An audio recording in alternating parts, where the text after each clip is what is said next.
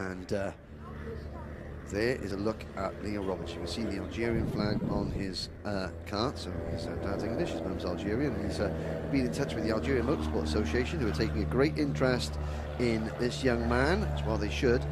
He is there on the inside of row one, so pole position, I think, for Leo Robinson. But uh, there's a look at the grid. So Mini X30, and again, so we've had so Leo Robinson in, in the last race, Anthony.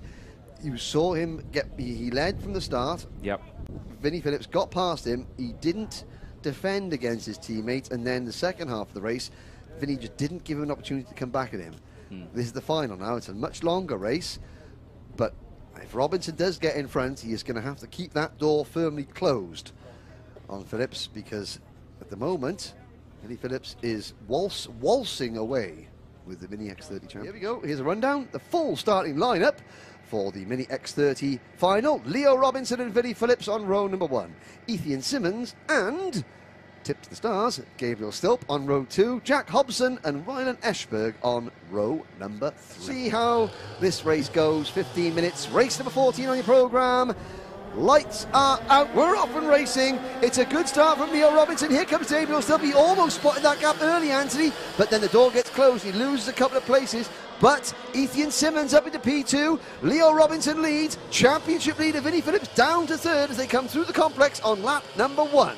A very clean start then from the entirety of the grid. A good look over the shoulder there from the GP plate of Ethan Simmons as they dive down in towards turn four as the rest of the field follows. Again, no real side-by-side action that we've seen on this first lap. Everyone keeping it nice and tame, nice and clean, which is what we like to see as they exit turn number five, enter the complex section of the uh, the hangar bend. Yeah, and so Ethan Simmons, he was he, he went off, you know, he went off well in the second heat, but then had a, an issue halfway around the first lap. But I mean, he was on that start like a tramp on chips. Was Ethan Simmons? Uh, he's up the second. Here comes Gabriel Stilp now recovering. He passes Ella Stevens for fourth place. Already the top three are clear. But now Vinnie Phillips, he looks to the inside of Simmons, and uh, he gets the well, he gets one of the two obstacles in front of him out of the way early. Can Simmons fight back? Robinson was going to try and make hay while the sun shine there. While Phillips wasn't directly behind him, Robinson was going to try and pull away. Now Phillips is there in P2. And I, just from, I mean, you know, I'm just a commentator. I'm just here to try and talk about it. But if I was Leo Robinson now, I would think to myself, I don't care if there's 40 to 13 and a half minutes to go. I am going to have to defend. Mr. Phillips, thou shalt not pass. Yes, good reference. As they uh, head through then the final corner. Dog's leg, a very tricky, fast chicane. Again, watching those curbs. We've seen some of the drivers hitting them, but not these. They staying very well clear, as we can see. Still under pressure from Stevens as they go through, but eyes on the top three. And then this next big group of carts all filtering through the complex onto the mini straight then into the braking zone of turn number four. Robinson still leading from Phillips.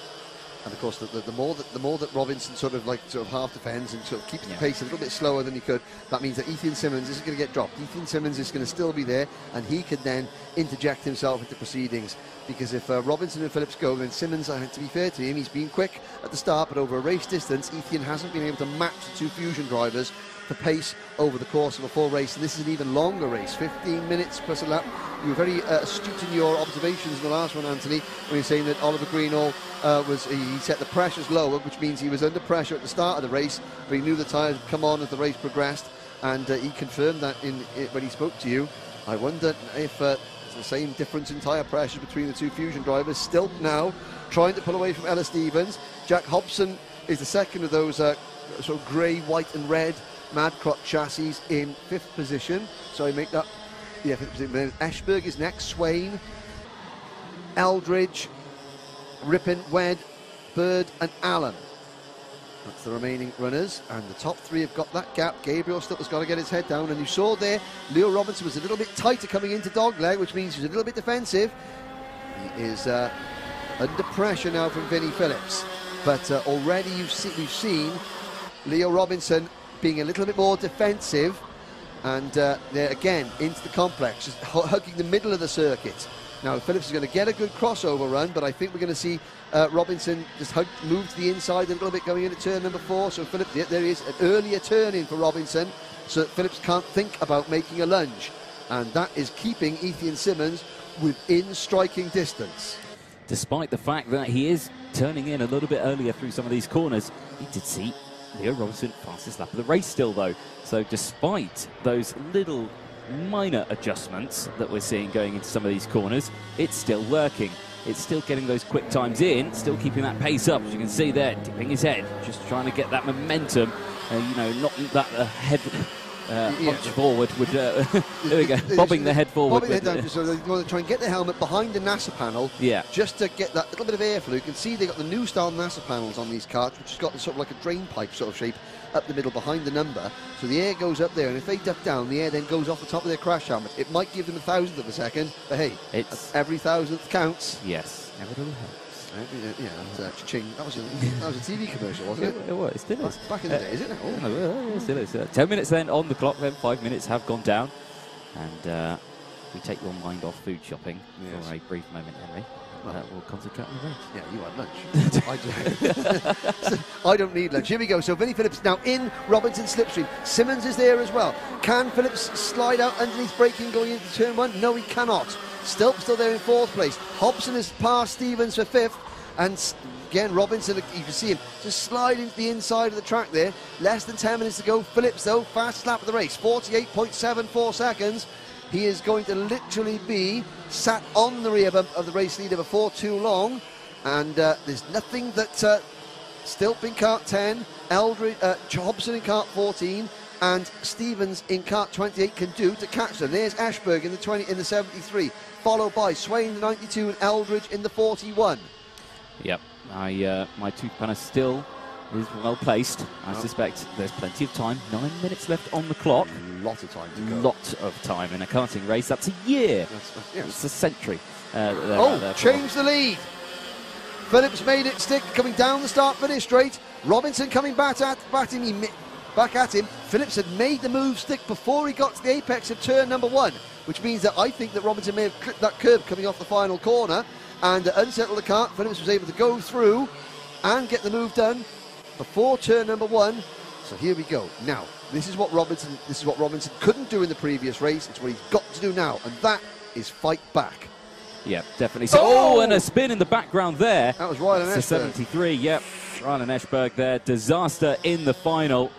And, uh, yeah, a huge shame for the young driver now. Uh, looks like he's okay. Back onto the top three. And, like we say, Phillips now leading from Robson.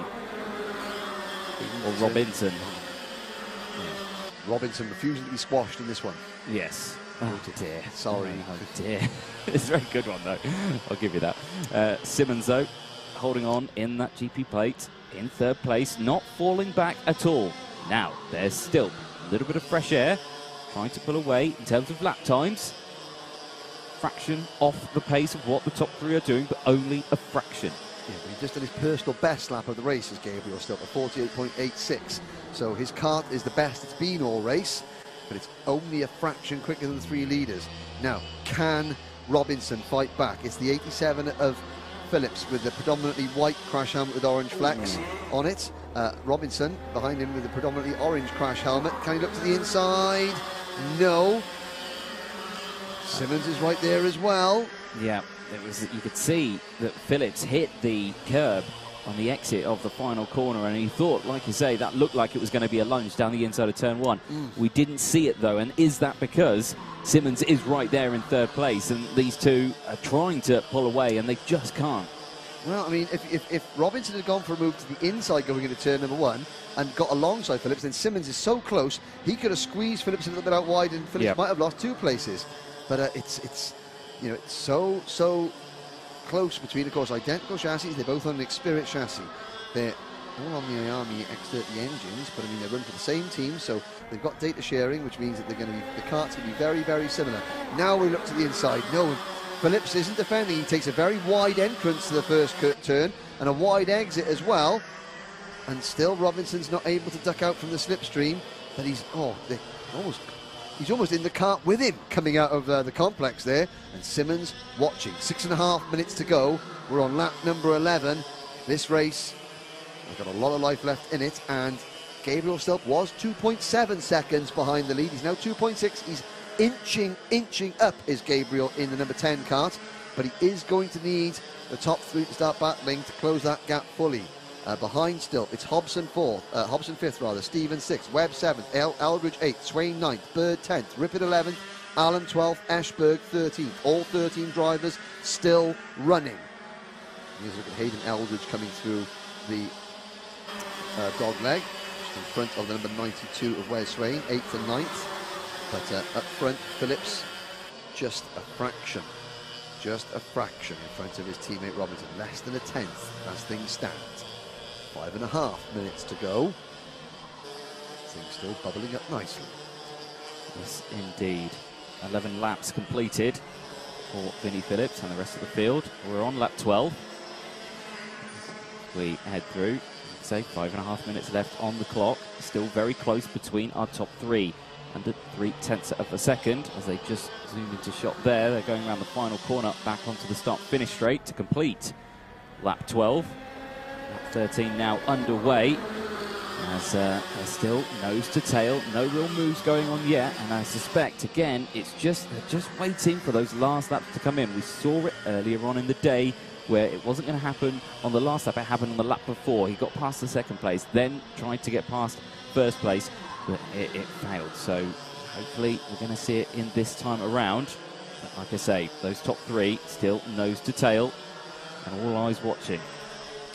Yeah, so uh, out of turn five, now through the corridor, down towards turn six. Vinnie Phillips, that's bad news for everybody else. Good news for Vinnie Phillips, he sets the fastest lap of the race, but still Robinson going with him. There's a little bit of daylight appearing now between Robinson in second and Simmons in third. Simmons is going to try and hang on to the slipstream here.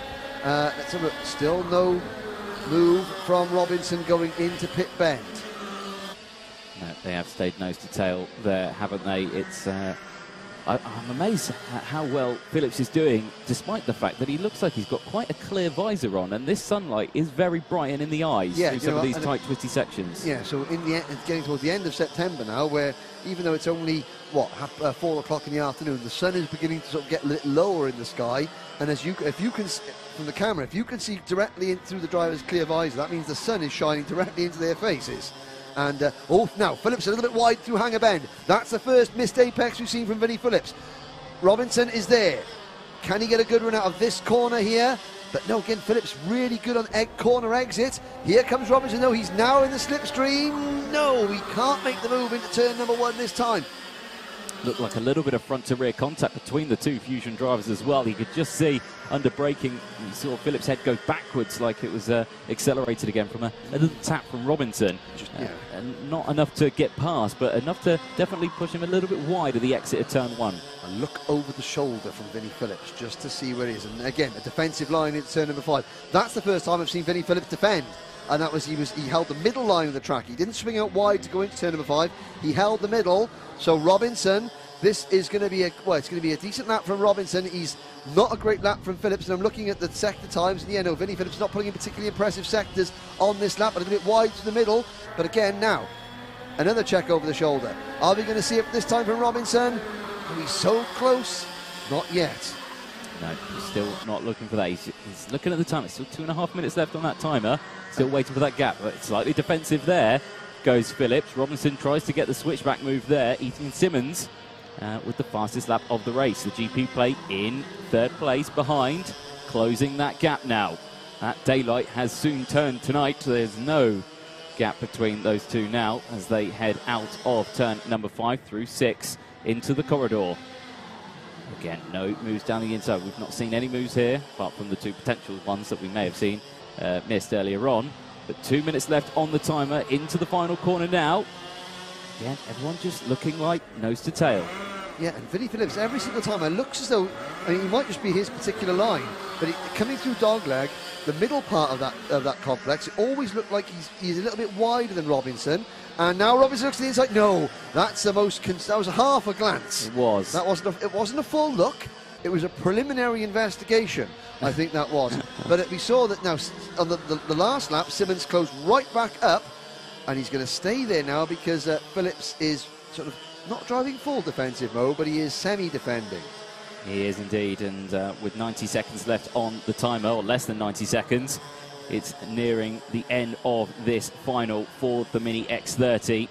And you can just see Simmons there ducking his head in, just trying everything he can to get through. And as you say there, Phillips again slightly wide at the second part of the chicane.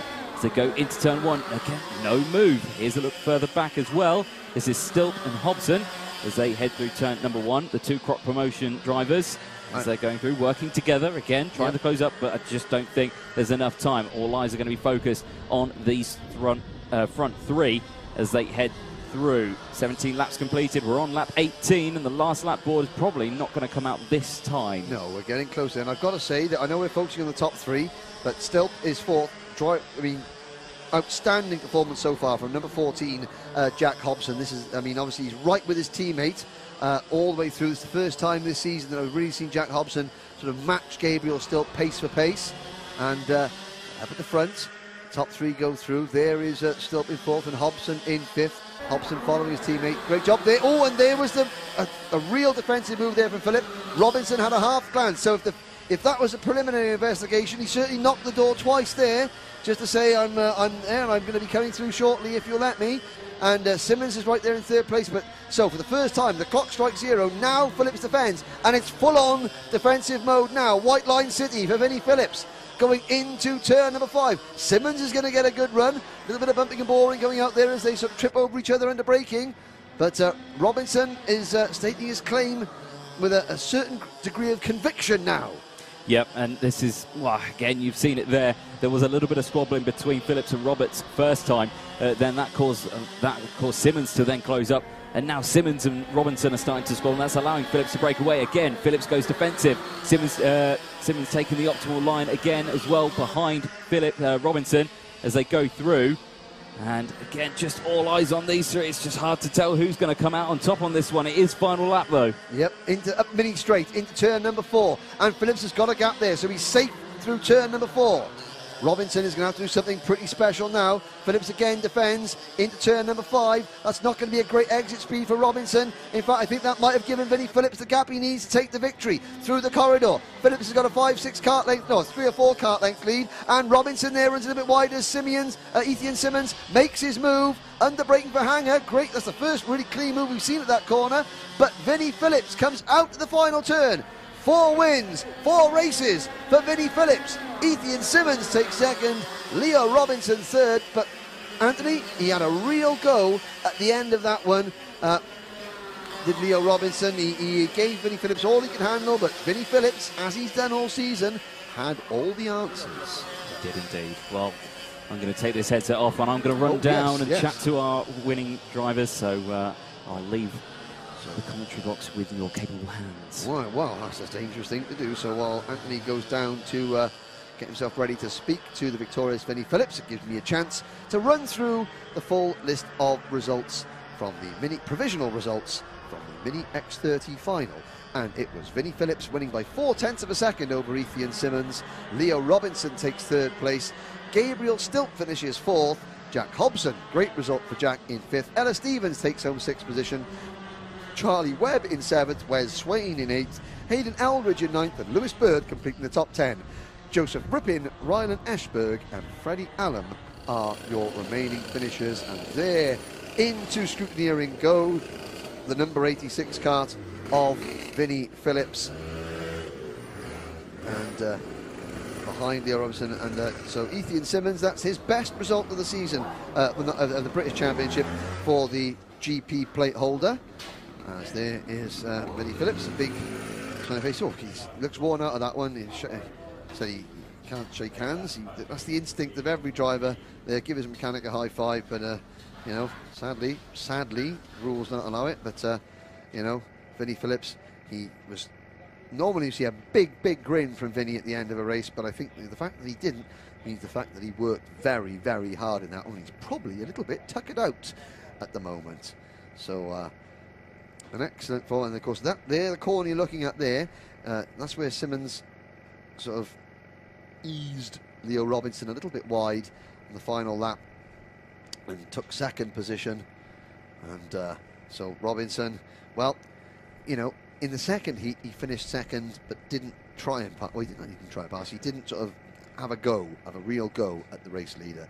Then he finished third, but he really did. He, he asked a lot of questions from Vinnie Phillips and made a couple of really concerted efforts, but it just wasn't meant to be this time. I do want to have a quick chat though with Leo Robinson because it was uh, the best attempt that we saw from him, uh, an overtake on Vinny. Uh, Leo, again, a very close race. You were leading for most of it at the start, and of course at the end there, you really tried your best to get past Vinny. Uh, just talk us through your mindset at the end of that one. Uh, yeah.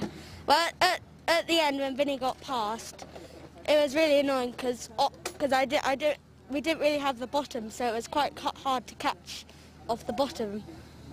Yeah, and I say with that, we, we saw in the previous race, it was saying tyre pressures were a key factor with the Fusion team. We, have you done anything different with the tyre pressures going into this final? I don't think so.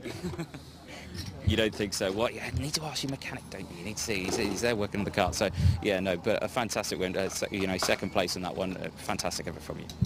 Yeah. Spot on. Cheers.